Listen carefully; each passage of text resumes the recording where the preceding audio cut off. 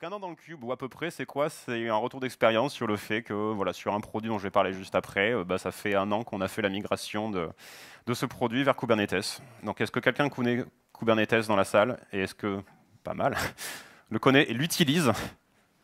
Waouh, il y a de plus en plus de... Vraiment en prod, quoi. Vous avez des utilisateurs dessus. Ah, ok, là tout de suite, il y a beaucoup moins de monde.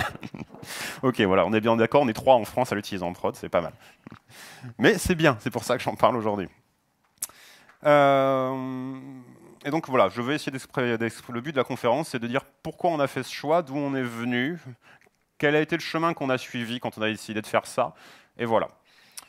Euh, il y avait mon nickname, enfin Twitter si vous voulez, Body Splash, c'est moi. Je dis parfois des trucs intéressants, c'est rare, mais ça arrive.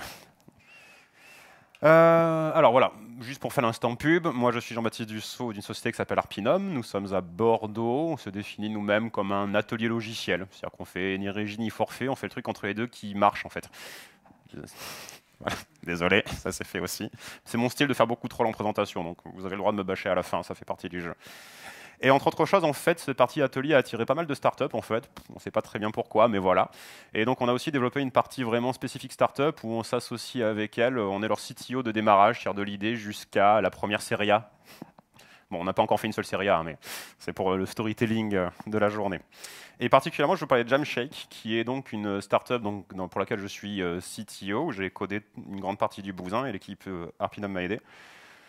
Je vais revenir sur Jamshake après, est-ce que quelqu'un connaît Jamshack Savoir si notre euh, réputation maintenant est devenue. ok, ça là c'est le moment de dépression absolue. voilà, c'est ça Jamshack, c'est le petit bracelet. On va commencer par un petit warning. Alors attention, cette présentation. voilà, sur le Cyclims.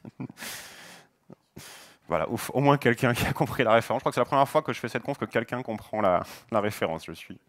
Ben oui, c'est Georges Abitbol, quoi. C'est l'homme le plus classe du monde. Exactement. En fait, ce que je veux dire, c'est voilà, vous êtes peut-être à une conf assez velue et technique sur Kubernetes, etc. Parce que moi, je suis un mec qui vient du système, etc. Pas du tout. Euh, c'est pas du tout un jugement de valeur. Hein. Je suis, je me définis pas moi-même comme un DevOps. Je me définis pas moi-même comme passionné d'infra. C'est plutôt le contraire. Euh, je me définis pas moi-même comme un expert Linux ou Unix, etc. Je ne suis pas vraiment capable de vous parler beaucoup de ce qui se passe dans un noyau et comment marchent les interruptions. J'ai peut-être vu à la fac, mais je ne me rappelle pas.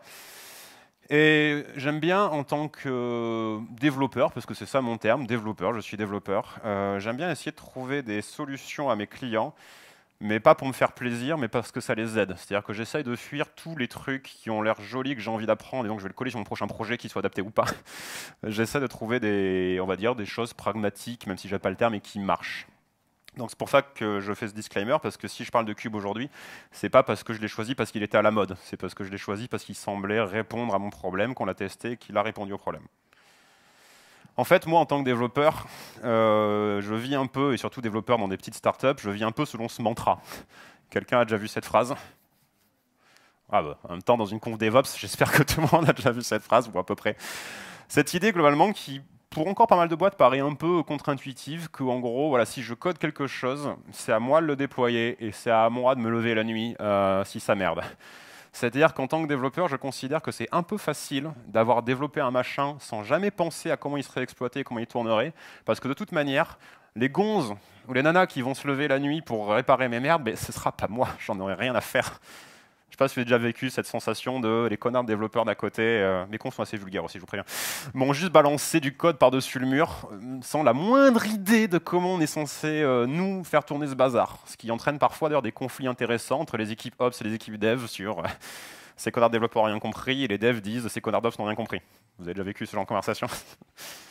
Donc moi j'aime bien cette idée de dire j'assume ce que je code de bout en bout.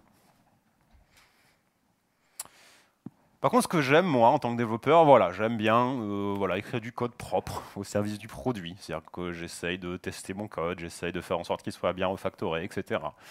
J'essaie de faire attention à ne jamais introduire de complexité inutile dans mon produit, parce que j'essaie de réduire la complexité du produit à la complexité du problème que je veux résoudre, et pas la complexité des frameworks que je suis en train d'empiler pour me faire plaisir. C'est bon, personne se sent ciblé. J'aime la bière. Si tout à l'heure, quelqu'un veut me payer une bière, voilà, c'est un appel du pied. Et j'aime un truc qui va, dont je vais sûrement reparler dans cette con, s'appelle le domaine du event design. Est-ce que quelqu'un connaît ce terme? Ouais, quand même, ok. Donc, chouette, on va en parler un peu. Tac. Donc Jamcheck, qu'est-ce que c'est? Euh, Tiens, finalement, j'aurais bien aimé avoir. Je crois que le net ne marche pas. pas je vais désactiver le Wi-Fi avec un peu d'eau, il passera des choses après. Ouais, normalement. C'est pas parce que c'est un câble réseau que c'est-à-dire que ça marche. Ah, ok. Ah oui, en plus, je viens de passer une notif, donc il se passe sûrement des choses. Et donc j'aurais dû désactiver les notifs d'ailleurs. Pour pas que vous voyez que je dois aller acheter du pain ce soir. Voilà. Euh, Jamcheck, c'est quoi? Normalement, il y aurait une super vidéo derrière. Euh, c'est un réseau social et collaboratif pour musiciens. Là, vous allez dire, ouais, encore des bullshit euh, words. social collaboratif. Jamcheck, pour parler un peu du produit quand même, euh, c'est quoi? C'est qu'on a voulu, voulu, résoudre le problème de la musique à distance. Vous avez peut-être eu, vous, un groupe, quand vous étiez au collège, au lycée, à la fac. Souvent, quasi tout le monde lève la main parce qu'on a tous fait un peu de musique à un moment ou juste pour faire comme tout le monde et pour essayer de paraître cool en soirée. Surtout ça. Hein. Et en fait, arrive ce moment quand on est vraiment passionné de musique que le groupe se sépare parce qu'il y en a un qui part faire ses études quelque part, l'autre ailleurs, etc. Et on se dit, c'est pas grave, on a adoré notre groupe, c'était sympa, on va faire la musique ensemble. Et arrive le moment du, ben voilà, le soir, j'enregistre une ligne de quelque chose, qu'elle soit mon instrument, et comment j'envoie cette ligne à mes potes donc là, c'est compliqué. On fait comme souvent c'est assez lourd le son. On va se dire, je fais quoi Un mail, un WeTransfer? Super, mes potes ont reçu ma ligne. Euh, comment ils s'enregistrent par-dessus? Comment ils m'envoient le retour de ce qu'ils ont enregistré? Comment on fait du feedback sur cet enregistrement? Comment on réenregistre des bouts séparés? Il y a un peu l'enfer que je décris. Ouais, ok. Donc Jamcheck, c'est ça qu'on a voulu résoudre, cette idée de comment on fait de la musique à distance simplement pour pouvoir se concentrer sur le plaisir de faire la musique et pas sur la technique. Donc en gros, c'est pour ça qu'on dit social et collaboratif, parce qu'on a une partie qui est un séquenceur en ligne qui tourne directement dans le navigateur avec zéro install, où on voit en temps réel qui est connecté dessus, qui est en train de poser du son, et donc je peux tout de suite écouter ce que ça donne et dire tout de suite non, ça, ça dégage, ça, tu le supprimes, ça, je recommence. C'est un peu le toute proportion gardée, hein, le Google Doc de la musique. Il faut toujours faire une phrase comme ça quand on pitch une startup. Je suis le Airbnb, le Airbnb du Blablacar, du Uber, de bref, de la blockchain. J'ai pas réussi à caler blockchain encore dans Jamcheck, mais je désespère pas. Et on a une partie réseau social plus classique qui est ben, c'est cool de faire la musique avec tes potes, mais c'est encore mieux si tu découvres des talents ou des gens que tu n'avais pas anticipé. Peut-être que ce petit trompettiste du fin fond du Mexique qui va te rajouter une petite ligne qui va faire toute la diff sur le morceau. Donc voilà, désolé pour l'introduit produit, mais c'était un peu pour vous pitcher, euh, voilà, qu'est-ce qui se passe dedans. Quand on a commencé Jamcheck, en fait, comme tout projet, euh, on réfléchit toujours en termes de comment on va gérer la complexité du projet. Parce que je ne sais pas comment vous l'avez senti, mais ça paraissait un peu velu, là, le côté de je vais faire la musique en temps réel dans un navigateur. Seriously? En gérant tous les formats audio possibles et en faisant du lossless? Seriously? Et euh, moi, quand j'essaie d'évaluer la complexité, j'adore ce pattern-là qui a été mis en avant par un certain professeur Enrico Zaninotto. Je le connaissais ni David Adam, mais c'est surtout parce que c'est Ken Beck qui en a parlé. Qui connaît Ken Beck? Ok, je vous dis, je vais faire un trial poursuite ce soir. C'est euh, le créateur d'Extreme Programming, donc c'est quand un monsieur assez intéressant. Actuellement, il bosse sur Facebook, c'est aussi un monsieur assez intéressant depuis qu'il bosse là-bas. Et en fait, j'aime bien ici parce qu'en gros, il dit que tout système, si on veut gérer sa complexité, si on ne veut pas qu'elle nous enterre, euh, il y a toujours quatre piliers. On ne peut pas optimiser les quatre, il faut s'en choisir un. C'est-à-dire qu'un système est trop complexe et devient ingérable s'il a trop d'états différents, s'il a trop de combinatoires d'états différents. Pour vous donner un exemple d'une entreprise qui, par le passé, a décidé de simplifier les étapes pour réussir à gérer la complexité, c'est Ford.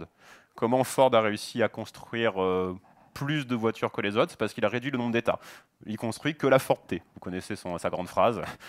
Vous pouvez choisir la couleur du que c'est noir. Voilà. Ce n'était pas un troll, c'était vraiment qu'il réduisait les combinatoires d'états pour rendre la complexité gérable.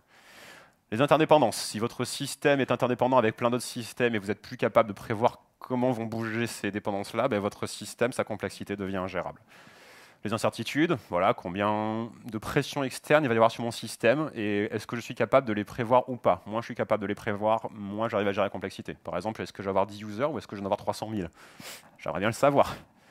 Et enfin, la partie qui m'intéresse, c'est les réversibilités, dur à dire. C'est-à-dire que finalement, un système, sa complexité est très difficile à gérer si on ne peut pas revenir en arrière sur nos décisions. Et ça, c'est un point, moi, qui m'intéresse le plus en tant que développeur en, général, c'est cette idée que finalement, moi, j'aime gérer la complexité en me donnant la possibilité de revenir en arrière sur toutes mes décisions et de les changer facilement. Donc ça, c'était pas gratuit que je montre tout ça, parce que ça va être un peu le fil rouge dont on va essayer de parler pendant le reste de la présentation. Bon, maintenant, j'imagine que vous voulez voir des gros schémas dégueulasses faits par un développeur qui n'a aucun talent de design. voilà. Euh, ça, c'est à peu près l'état actuel de Jamcheck euh, en mode euh, qu'est-ce qui tourne dans notre cluster cube. Pourquoi je vous montre ce schéma Pour plusieurs raisons. La première, c'est de vous dire voilà, on n'a pas mis un monolithe dans le cube, il y avait un intérêt à ce qu'on essaye d'avoir des petits livrables. Mais là où je vais insister lourdement, c'est que Jamcheck, dans sa V1, n'avait pas du tout tous ces livrables. C'était, euh, je conseille à tout le monde de surtout, surtout, surtout ne pas partir en mode euh, que vous appeliez ça microservice ou autrement, peu importe. C'est quand même vachement plus simple de manager un monolithe, surtout qu'on est en tout début de projet, qu'on veut changer les hypothèses très vite. C'est quand même vachement plus simple d'avoir un monolithe que d'avoir tout de suite des microservices. Par contre, on a codé en microservice ready, c'est-à-dire euh, c'est pas parce que c'est un monolithe que tout doit être couplé. On a des namespaces très clairs et très séparés qui représentaient déjà ces briques. Et le jour où on a eu des problèmes de charge, on va parler après, j'ai pu juste extraire cette brique pour dire bon mais celle-ci elle prend cher, je la mets toute seule dans son coin.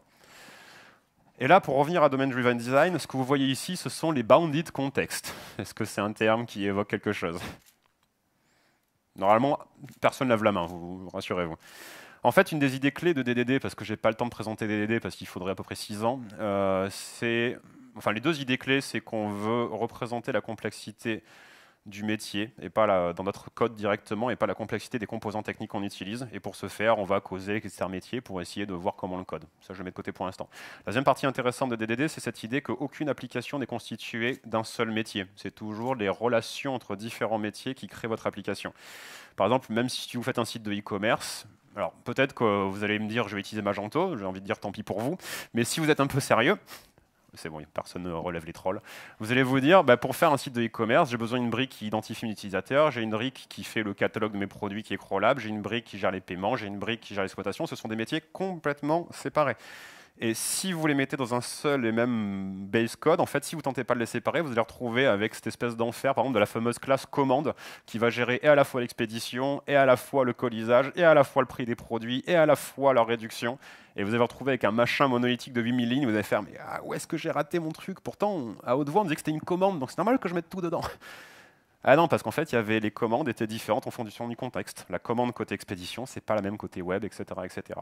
Et c'est ça qu'on a essayé de représenter ici. Donc, je vais essayer de faire un petit pitch. C'est quels sont les différents contextes métiers qui composent Jamshake. Alors, voyons voir.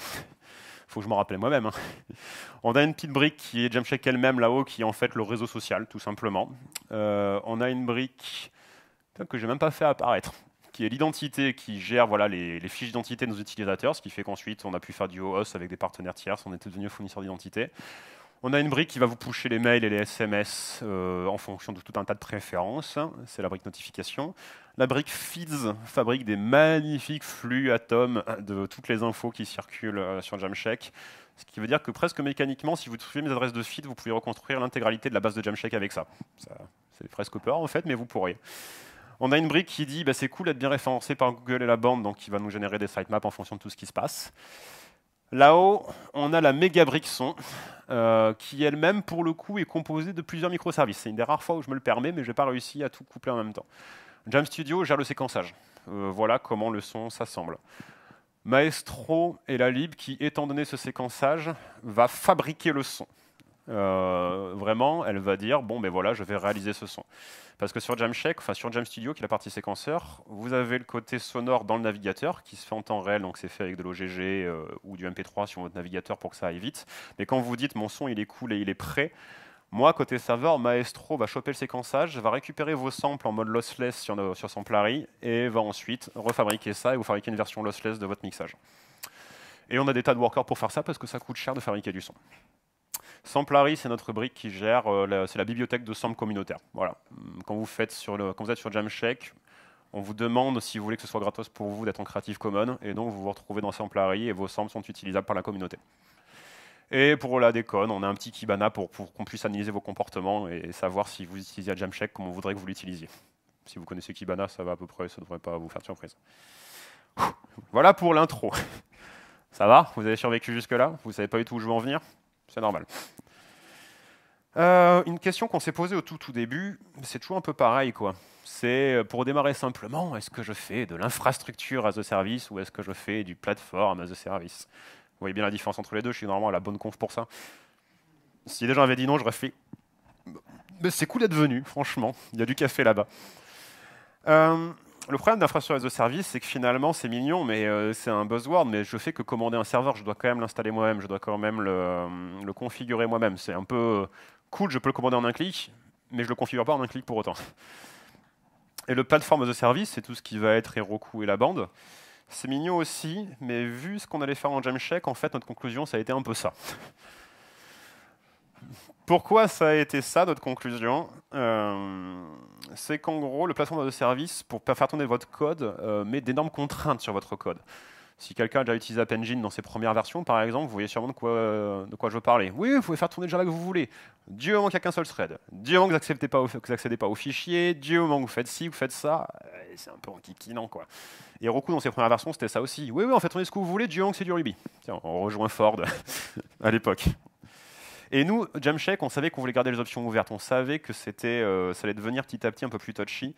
Et le problème des plateformes de service, c'est un peu cette idée de, ben, en fait, si je prends Heroku, à chaque fois que je vais vouloir faire un nouveau livrable, je vais raquer entre 7 et 25 euros de plus minimum pour juste avoir ce livrable en plus. Donc ça met une contrainte sur mon développement finalement. Je sais que si pour m'en sortir en tant que développeur, je devrais séparer cette brique en deux. Je suis en train d'acheter que ma startup va devoir payer un nouveau worker sur Heroku.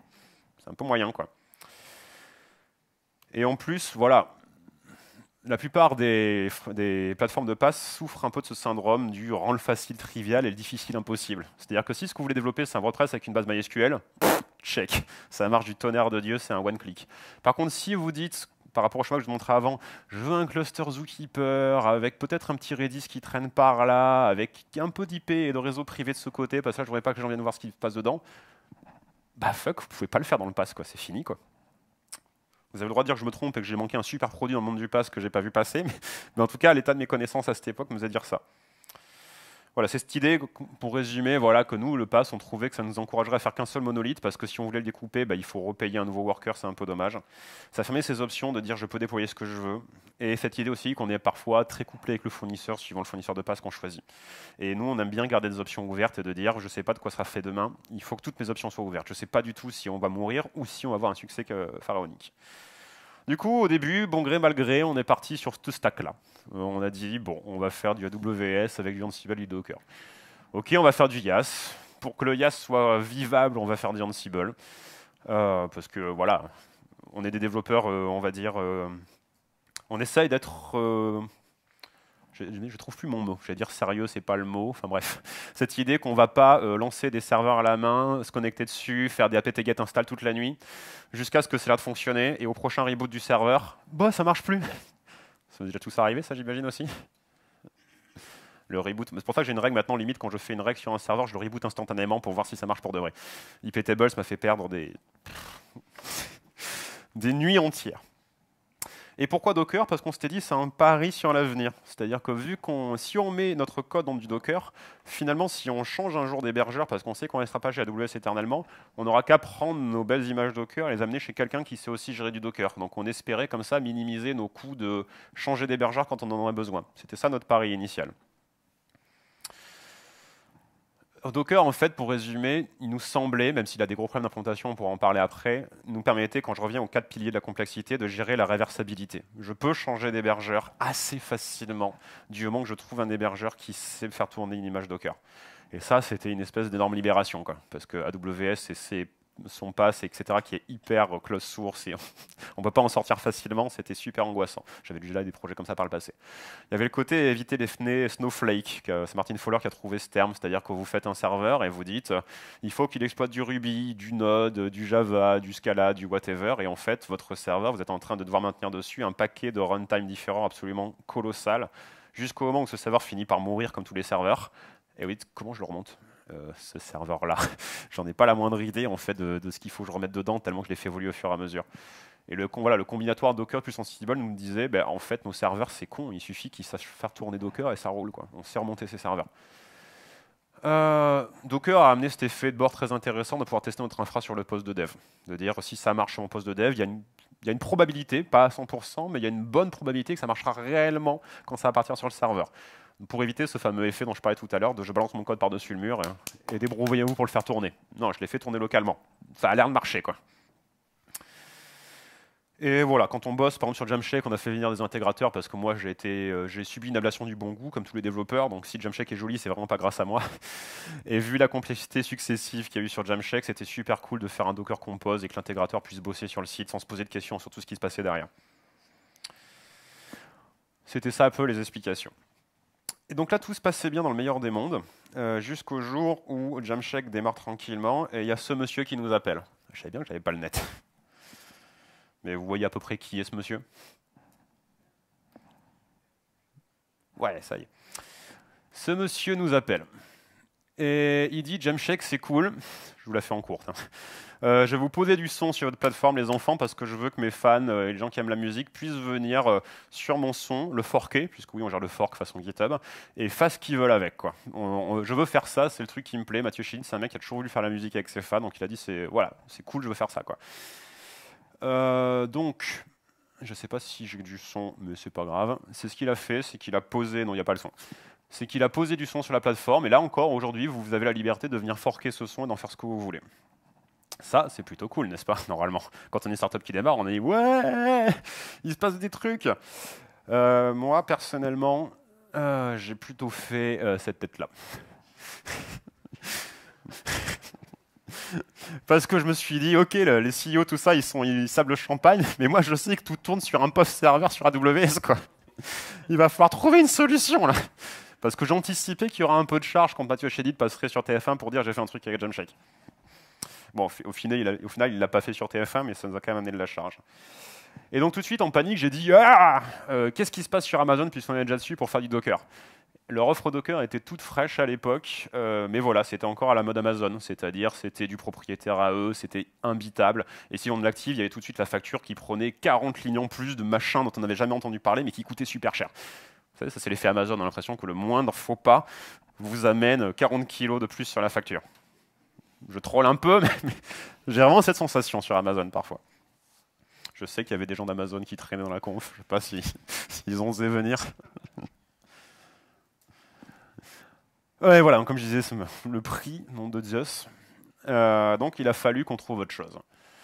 Et alors que j'étais en train de perdre tout espoir, euh, c'était un launchpad, je crois, sur Bordeaux, où, euh, voilà, au coin d'une conversation, je discute avec, enfin, bref, quelqu'un de Google, je pense, et, qui me dit on est en train de lancer un machin qui s'appelle Kubernetes. je ne sais pas comment on prononce correctement d'ailleurs, si c'est Kubernetes ou Kubernetes, mais je vous laisserai choisir. et en plus, on, on propose une offre d'hébergement, c'est-à-dire que Kubernetes est complètement libre, il n'y a pas de problème, et tout ce qu'on fait, c'est l'héberger sur Google Cloud. Et moi, j'ai dit, waouh, peut-être que c'est ça que je voulais en fait, parce que là, j'avais une machine sur Amazon qui gérait tous mes, euh, tous mes conteneurs, et maintenant, il fallait que j'en ai N en gros, avec N conteneurs qui tournent pour gérer ma scalabilité. Et finalement, cette fine métaphore de, on avait l'infrastructure as a service, on avait le platform as a service, on est d'accord, ce sont devenus des termes très marketing, mais peut-être qu'entre les deux, il y avait un chaînon manquant en fait. Le truc qui dit le YAS c'est un peu hardcore, le pass c'est trop limitant il y a peut-être quelque chose entre les deux. Et finalement, le conteneur as a service, ça ressemble un peu à ça, cette idée de, OK, il y a un peu plus de conf à faire que pour être sur du pass. Il y en a moins à faire que pour être sur du YAS, mais dans l'idée, je veux un système à qui je, eh, je balance tous mes conteneurs et il se débrouille pour les distribuer sur tous les nœuds que je pourrais lui balancer à la tête. C'est à peu près ça que fait Kubernetes. C'est une très bonne présentation de Kubernetes, non? Ça va, pour ceux qui ne connaissent pas Kubernetes, c'est le moment où je peux rentrer un peu plus dans les détails de ce qu'il fait. Donc vous me demandez euh, si vous voulez en savoir plus ou pas là. Ouais, zut. zut. Donc Kubernetes, effectivement, c'est une initiative de Google. Euh, donc c'est un projet intégralement libre qui a été donné à une fondation qui porte à peu près le même nom, je pense, mais c'est vraiment Google qui a bootstrappé le projet, même si maintenant il y a beaucoup plus de committeurs dedans. Euh, alors, le pitch officiel, le storytelling officiel autour de Kubernetes, c'est regardez, on est Google, nous ça fait 10 ans qu'on fait tourner tout dans des conteneurs chez nous on va pas vous filer les projets qui font tourner nos conteneurs à nous parce qu'ils sont beaucoup trop compliqués, parce que nous, on a des problématiques que vous n'avez pas, vous, n'êtes pas nous. Euh, mais par contre, on sait, on sait ce que c'est faire tourner des conteneurs, donc on va prendre cette expérience et la crafter dans ce machin qui va s'appeler Kubernetes. À vous de voir si vous trouvez le pitch honnête ou pas. Je ne suis pas là du tout pour juger le bousin. Et donc, va faire Kubernetes C'est ça, c'est qu'il va résoudre le problème de, entre guillemets, que Docker avait avant l'apparition de Swarm, c'est cette idée de Docker sur un seul host. C'est facile, c'est trivial. Docker sur deux hosts. Quelqu'un a déjà essayé En mode vanilla, en mode comment je fais pour configurer le réseau. Ouais, on est d'accord, c'était un peu l'enfer quoi. Comment je fais pour dire s'il y a un serveur tombe, est-ce que je peux réussir à prendre les conteneurs qui étaient sur serveur pour les envoyer à côté? Enfin, c'était juste pas possible quoi. Euh, mais nous, à l'époque, on avait parié que quelqu'un réussirait à le faire un jour, et Kubernetes c'était une des premières heures de ça. C'est Kubernetes, c'est quoi? Voilà, c'est en gros c'est un, un, cluster d'images Docker. Euh, il, vous expose une API REST en gros. Vous lui faites manger quelques commandes euh, et vous lui dites en gros je voudrais que tu fasses tourner telle image, je voudrais qu'il y en ait minimum trois qui tournent en parallèle, je voudrais qu'elle soit exposée au reste du public ou pas, je voudrais qu'elle reçoive sa configuration de telle manière et je voudrais qu'elle ait un volume de 20 gigas monté ici et euh, je voudrais que ces secrets qu'elle utilise pour se connecter, je sais pas moi à Facebook ou autre, soient chiffrés que pour que personne d'autre qu'elle n'ait le droit d'utiliser ces secrets là. Là, je viens de résumer en. J'ai essayé de résumer beaucoup des features de Kubernetes en très, très, très, très peu de mots. Kubernetes est donc cloud agnostique, on pourrait dire, c'est-à-dire qu'il tourne sur Google, mais vous pouvez le faire tourner où vous voulez. C'est juste que l'offre de Google, GKE, ben voilà, en one click, vous avez un cluster Cube. Euh, parce que Cube essaye de fournir dans le code en fait des pattes pour que le, fournisseur de Cube que vous utiliseriez euh, reçoive des notifications de Cube. Par exemple, si je dis à mon Cube, il faudrait que tu me montes un volume de 10 gigas, bah ouais, où est-ce qu'il va le trouver ce volume euh, Donc il fournit des hooks pour la plateforme sous-jacente pour qu'elle soit capable d'aller provisionner ces 10 gigas quelque part en fait. Ensuite, c'est ça le problème, c'est qu'il faut trouver des hébergeurs qui gèrent correctement Cube. Forcément, Google se place comme un des meilleurs puisque bah voilà, c'est eux qui l'ont fait, mais ils ont de la concurrence maintenant. Il y a du, sérieux en face. Hein. Ça va à peu près, j'ai bien expliqué Cube. Je vous ai dit j'étais développeur, je n'entrais pas dans les détails grades de Cube. Mais il se passe des tas de trucs derrière. Hein.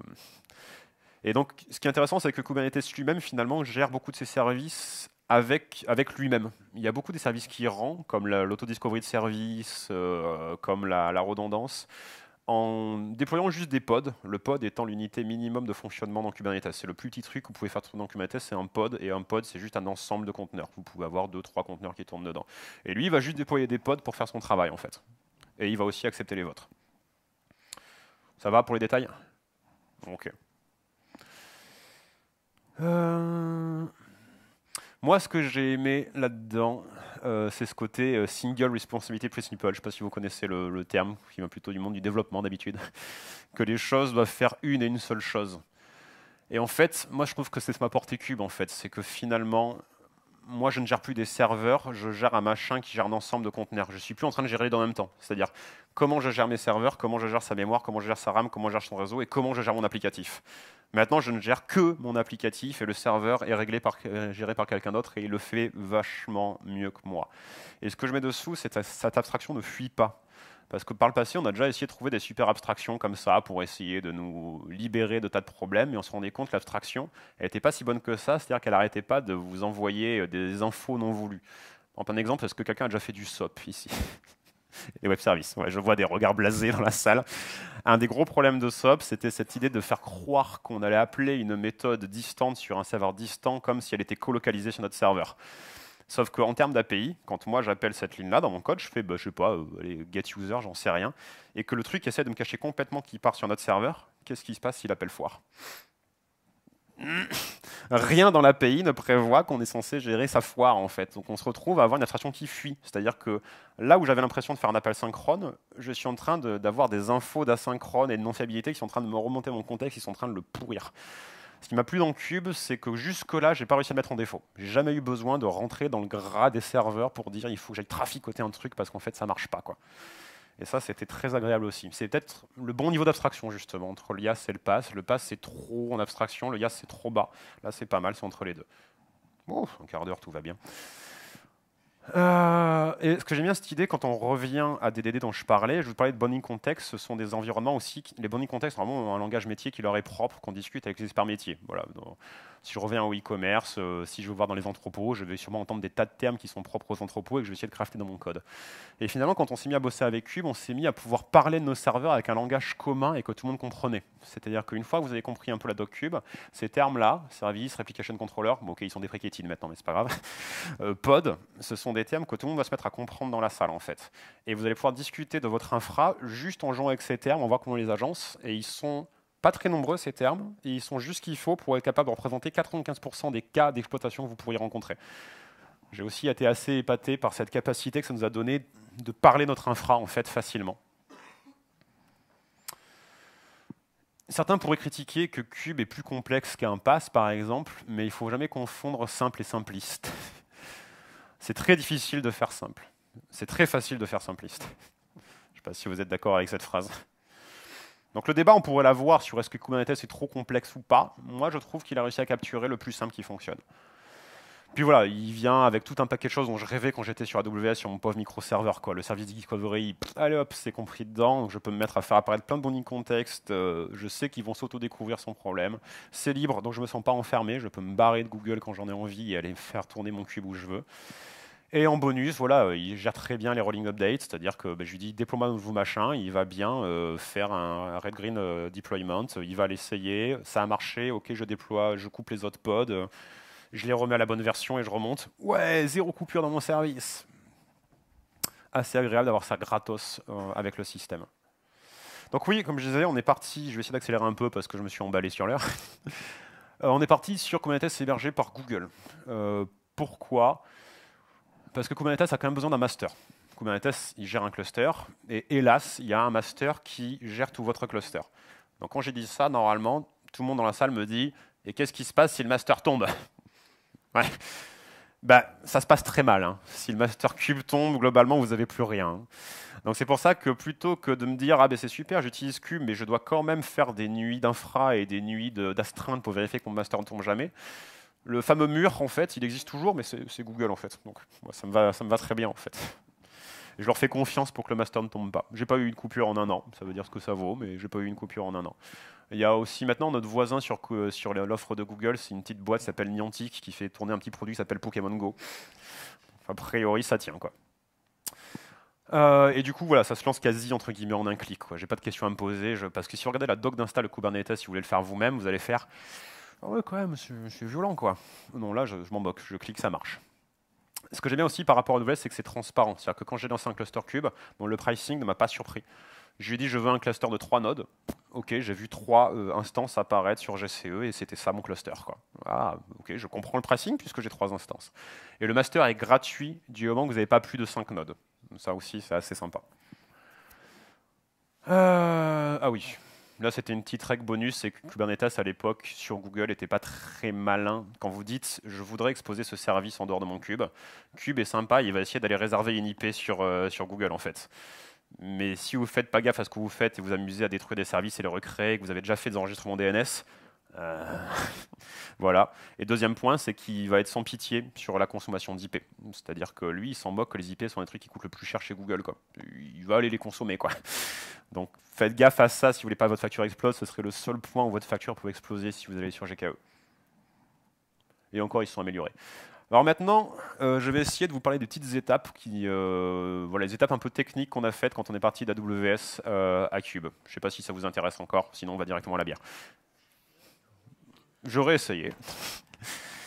Alors, première étape, effectivement, c'est que comment on parle à Kubernetes, c'est qu'en gros, on écrit des descripteurs de ce qu'on veut déployer. Le format par défaut est plutôt en YAML. Il faut s'avaler, et il est plutôt verbe. Il faut s'avaler. Donc ça, voilà, quand je disais que le, débat sur la complexité, il est là, c'est qu'effectivement, c'est pas évident, évident de fabriquer les petits YAML euh, que Kubernetes et, euh, veut manger. Quoi. Même le cas le plus simple va pas être simple à écrire. Mais encore, une fois, ça, s'est amélioré. Ils ont rajouté un nouveau concept il n'y a pas longtemps qui s'appelle les deployments, qui réussissent à capturer la plupart des use cases en, un seul type. Il y a la notion de tag qui est assez what the fuck, c'est qu'en gros, dans Kubernetes, vous avez des réplications contrôleurs, vous avez des services et vous avez des pods. Le réplication contrôleur, il est en charge que les pods tournent. Le service, il est en charge d'exposer les choses. Et tout ce petit monde ne se découvre que par un système de tag. Donc c'est un couplage très lâche, c'est qu'une question de clé-valeur. Mais la première fois qu'on manipule ça, il est arrivé que des réplications contrôleurs se mettent à faire tourner des pods qu'ils n'étaient pas censés faire tourner. Enfin, ça a été un peu le bordel. Donc faites gaffe à ça. Le système de, de tag n'est pas hyper intuitif, j'ai trouvé. Et quand je disais que Cube c'est capable de faire tourner 95% de ce que je balançais, il y a toujours des cas particuliers. Zookeeper, on avait besoin d'un Zookeeper euh, pour synchroniser tous les, euh, tout un tas de trucs. euh, Zookeeper, quelqu'un a déjà essayé de l'exploiter Ici c'est vraiment une courbe DevOps, quoi. Je tiens un site un produit, tout le monde. Et donc, vous savez que Zookeeper, le problème, c'est qu'il faut au moins trois nœuds normalement pour qu'il soit content et que ces nœuds, ils se découvrent pas. Enfin, par défaut, puisque Netflix a fait un produit par-dessus, je sais plus comment il s'appelle, qui permet de faire des clusters Zookeeper en se prenant moins la tête. Mais moi, j'ai fait. Ouais, si tu veux, je te donnerai le studio après. Euh, et le truc, c'est qu'il faut qu'ils se connaissent. Donc ça veut dire que dans leur conf, il faut que j'ai mis euh, tes deux pods sont là. Chacun des trois, il faut que je leur dise tes deux pods sont là. Tout le principe de Cube, c'est que quand je mets un réplication contrôleur et je lui dis fais-moi tourner trois instances de ça, j'ai pas la moindre idée des IP de ces trois machins. Euh, donc là, j'ai dû un peu tweaker, honnêtement. Ça n'a pas été une partie de plaisir de réussir à faire rentrer Zookeeper là-dedans. Et le paradoxe avec le côté verbosité de ces YAML et tout ça, c'est que finalement, on utilise toujours Ansible. En fait, on continue à utiliser Ansible, mais plus pour configurer des serveurs, mais pour euh, parler à notre cube. Et c'est un peu tordu parce qu'Ansible, bah, vous devez tous le connaître mieux que moi. Euh, comment on parle à cube en faisant des lignes de commande, en, appelant la ligne de commande kubectl, controller Bon, pas exceptionnel d'utiliser Ansible pour fabriquer des templates de YAML qui vont être passés en paramètres de lignes de commande qui sont locales. C'est un peu, c'est un peu tordu. Hein. Je cherche toujours à faire mieux. Il euh, y a un module mettre Ansible Wouhou J'ai bien fait de venir Il faudra que je regarde. Merci pour le tip. La deuxième étape, c'est qu'on a essayé de, de, trouver la bonne taille de nœud. Euh, parce qu'à l'époque, sur Cube, vous pouviez, quand vous choisissiez la taille de votre cluster, vous disiez je veux trois serveurs et ces serveurs devaient être homogènes. Vous deviez avoir exactement euh, des serveurs de même taille. Donc sur Google, c'est-à-dire vous preniez des small, vous prenez des G1, vous faites ce que vous voulez, mais il fallait trouver la bonne taille.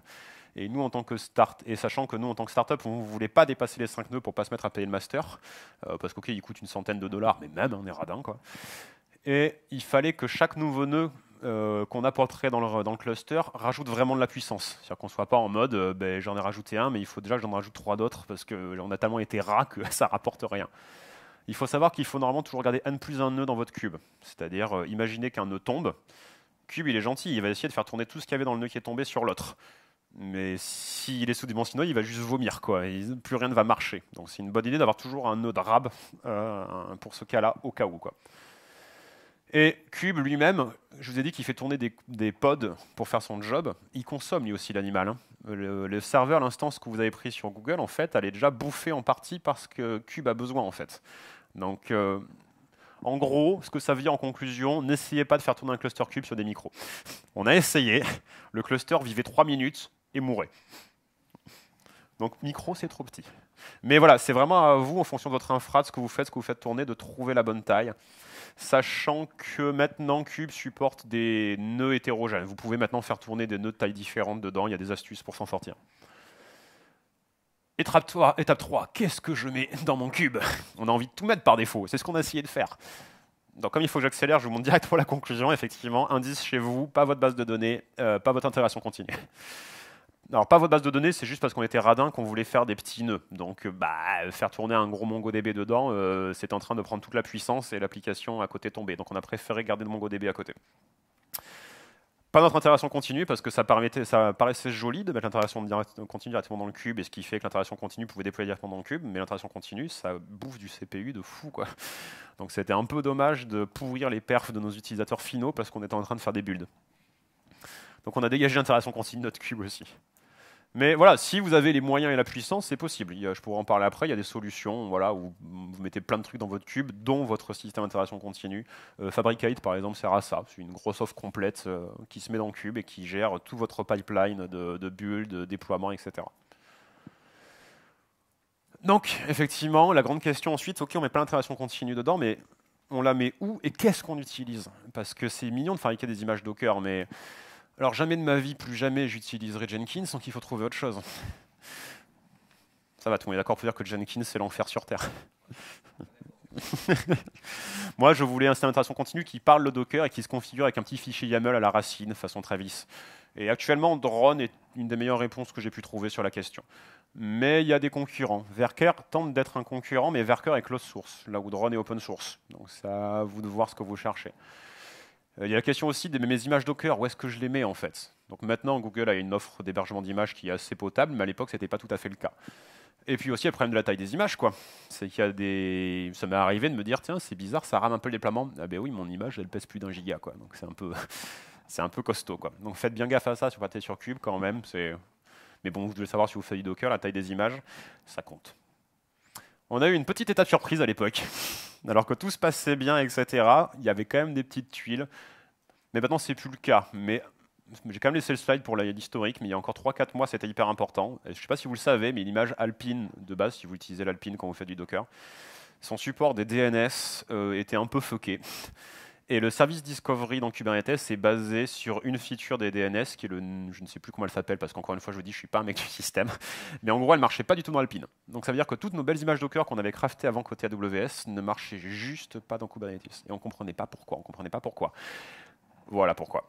Le service Discovery ne pouvait juste pas marcher si on utilisait comme base d'image Alpine. Ça, ça a été résolu, je vous rassure. Voilà, et en bonus, tout ça, ça s'est mis à tourner. Et euh, le bonus de tout ça d'être sur Google, c'est que bah voilà, la gestion des logs, rien à faire, ça marche tout seul. Tout ça est agrégé vers la Stackdriver et on peut faire du monitoring dessus et des alertes qui nous disent attention, tout est en train de s'effondrer. Euh, parce qu'il n'y a pas longtemps, Google a acheté Stackdriver. Je ne sais pas si vous avez vu passer cette news. Bon, c'est pas hyper palpitant, mais bon voilà, c'est une solution d'alerting et de monitoring qui peut même vous faire des stats en temps réel. ça sert à tout Stackdriver, mais vous pouvez vous en servir essentiellement pour faire des logs et des alertes. Euh, Kubernetes s'est mis à jour très régulièrement et chaque fois que j'ai fait une mise à jour de cluster, ça s'est toujours passé comme un charme. Quoi. Vraiment 0, 0, 0, 0 souci. Ça, ça vient gratos, ça va être sur GKE. C'est ce côté, les mises à jour, euh, c'est plus un enfer. Quoi. Je clique les yeux fermés et ça marche. Je clique, donc je rassure, je fais en ligne de commande, comme je suis un mec propre. J'aime avoir mon iterm et mon ZSH avec des, plein de couleurs pour pouvoir le faire. Quoi. Et voilà. Et comme nous, on avait cherché à trouver les plus petits nœuds possibles, on a quand même eu des petits soucis de nœuds qui partent en cacahuète, très, terme très technique. C'est-à-dire que globalement, euh, il était un peu à l'étroit le nœud quand on faisait tourner trop de choses dedans. Et quand un cluster commence à partir en cacahuète, par contre, c'est un effet domino. Il y avait un nœud qui était en train de vomir parce qu'on lui faisait tourner trop de choses, donc il s'effondre. Donc Cube va dire, je prends tout ce qui tournait là, je vais le mettre sur l'autre nœud qui allait bien, qui maintenant va mal et s'effondre? Et donc voilà. Mais à chaque fois, honnêtement, on a résolu le problème en 10-15 minutes. Donc c'est-à-dire que même nous, avec nos faibles compétences d'Ops, on s'en est toujours sorti en fait. Mais c'était quand même pour dire qu'encore une fois, faites gaffe à la taille des images. Si on parle juste d'avenir de l'écosystème, le monde du Docker et de l'infrastructure euh, qui tourne autour de tout, moi je trouve que c'est encore plus la folie que dans le monde du JavaScript. je ne sais pas si vous faites beaucoup de dev ici, mais le monde JavaScript, 6 niveaux framework par jour au minimum, etc. Ok, c'est un troll qui marche bien avec les développeurs. Je vois qu'ici, ça marche pas du tout. Euh, faudrait que je trouve une contrepartie. Mais il se passe des choses quand même intéressantes. Voilà, Cube, depuis qu'on est dessus, on s'est déjà mangé 4 ou 5 versions majeures, je pense. Euh, ensuite, ça va être de plus en plus simple. Il y a un petit projet qui s'appelle Helm, qui est sorti en 1.0, qui vous permet en gros de faire un apt-get install sur votre Kubernetes. Euh, c'est enfin, ça leur objectif. C'est-à-dire que j'ai un cluster Cube et j'ai envie de dire, euh, tu pourrais m'installer un Redis là-dessus? Oui. Je fais Helm install Redis c'est bon, j'ai un Redis qui tourne sur Cube, quoi. C'est ça l'idée en fait, c'est qu'il va juste télécharger une recette de comment faire tourner le Redis sur un Kubernetes, et les recettes se démerdent pas trop trop mal. Si vous êtes plutôt aficionado du monde du platform as a service, DIS, DIS Workflow est un projet qui est sorti en 1.0 il n'y a pas très longtemps, qui transforme votre cluster cube en un gros Heroku. C'est-à-dire que vous poussez du code dessus, il va prendre un build pack, le builder et déployer dans le cube. Ça veut dire que voilà, Cube, si vous le trouvez encore trop bas niveau, vous pouvez très bien vous en servir pour mettre un truc plus haut niveau par-dessus. Et quand vous en avez besoin, repasser dans le bas niveau pour faire des choses très spécifiques. Donc l'environnement, c'est en train de bouger à la vitesse de la lumière, c'est assez intéressant. Je pourrais faire des trolls ensuite sur Docker versus Racket, mais on pourra le faire après. Et donc en guise de conclusion, ce sera un peu l'idée, voilà, est-ce que ça m'a permis de mieux gérer au moins un, voire plus de ces quatre pivots de la complexité?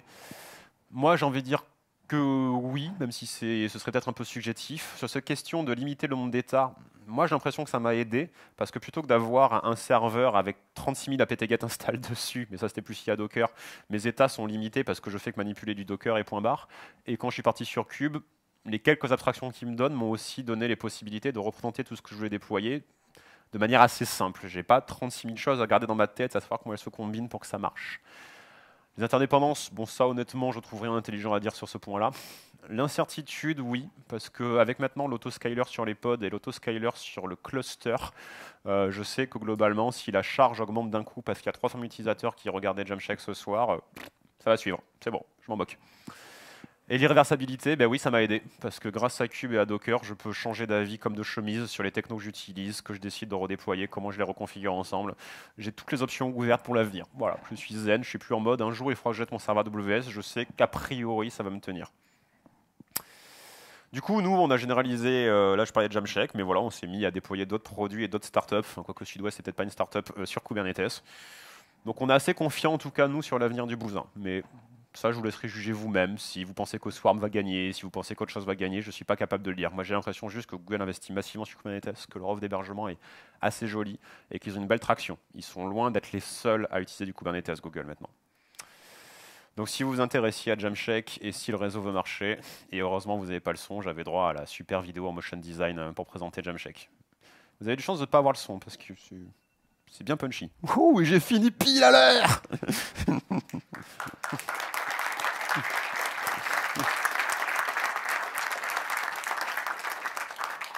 qu'on a le temps pour deux questions et demie ou... Enfin, s'il y en a. Alors, ok, le micro se balade. tout d'abord, merci pour la présentation, c'était super intéressant. Merci d'être venu. non, ma, question portait sur les différents environnements que vous avez, si vous en avez d'ailleurs, mm. et comment vous les gérez. Est-ce que vous les gérez, vous gérez par namespace ou si vous avez mm. deux clusters différents Et comment vous gérez les, aussi la, la, limite des ressources éventuellement par, par service ou par pod? À l'arrache, comme tout développeur qui se respecte. de manière un peu plus sérieuse, euh, effectivement, on a deux clusters. Euh, on a un cluster euh, de pré-prod, mais où il n'y a pas que Jamshack finalement. Ça, c'est le cluster d'Arpinum où on met toute la pré-prod de tous nos clients. Et ensuite, on a un cluster par prod. Donc, on a un cluster Jamshack, on a un cluster sud-ouest, et on a un cluster voilà, des autres.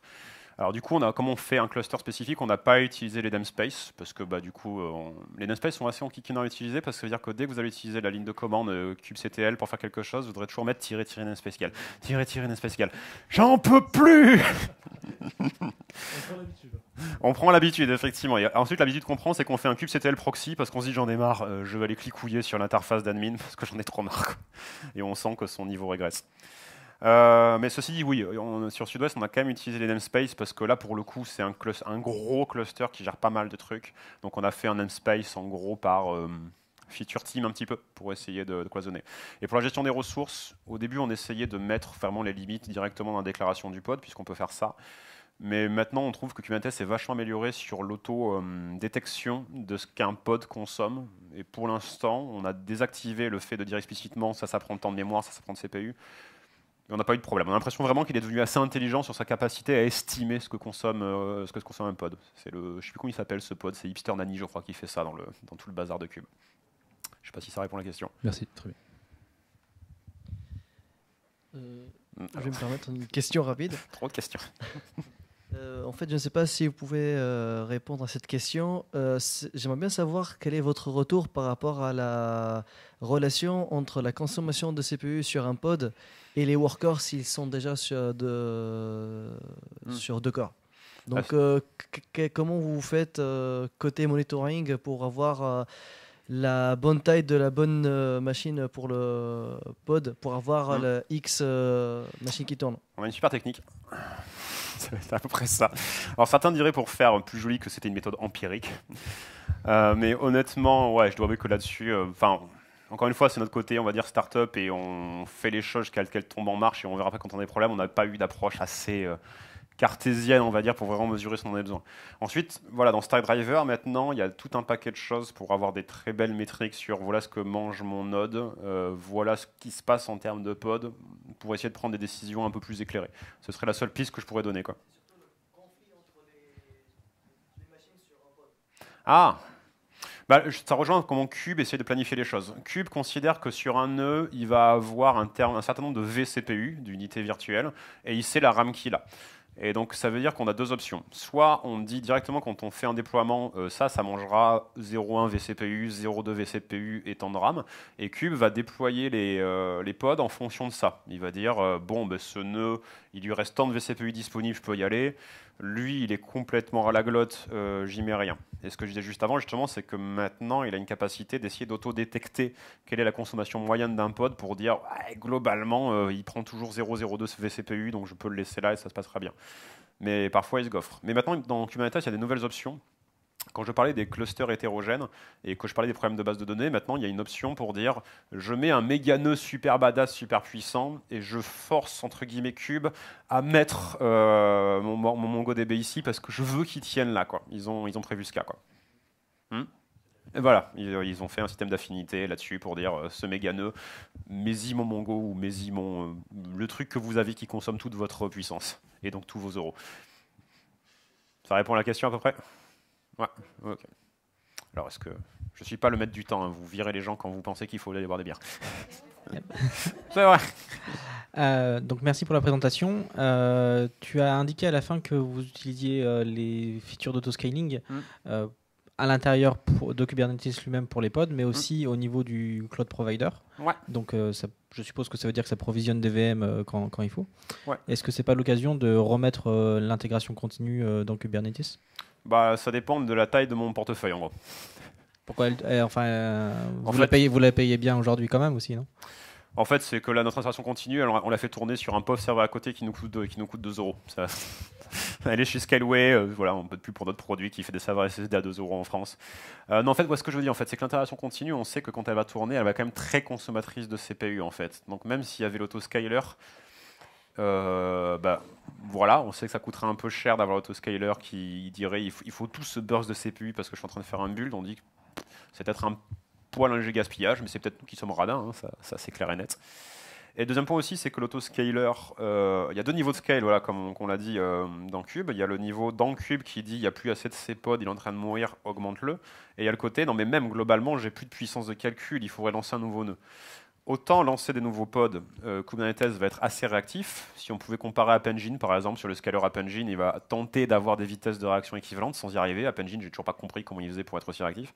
Par contre, booter une VM, voilà, on est tous d'accord pour dire qu'il va falloir attendre 2-3 minutes euh, pour que le node soit chaud, euh, tout rutilant et inclus dans notre cluster cube en fait. Donc il y a ça aussi à prendre en compte. Il ne faut pas s'attendre à ce qu'il mange un burst en fait dans ce mode-là cube. Il faut quand même s'attendre à dire il faut que je prévoie un peu ma charge pour toujours avoir un nœud de plus sous le coude, euh, pour laisser le temps à un nouveau nœud d'arriver. Donc tout ça, c'est une question assez difficile d'équilibre de coûts, de qu'est-ce qu'on veut faire, etc. C'est toute la difficulté d'ailleurs quand on part sur un cube, de trouver les, bonnes équations. Je ne sais pas si j'étais très clair parce que j'ai presque répondu à côté de la plaque, bonne technique de commercial ça aussi. réussir à diriger le sujet. Je ne suis pas commissionné hein, pour cube. Est-ce qu'il y avait une dernière question ou est-ce que vous, rêvez tous de la bière? Sachant que je ne sais même pas s'il y a de la bière en plus.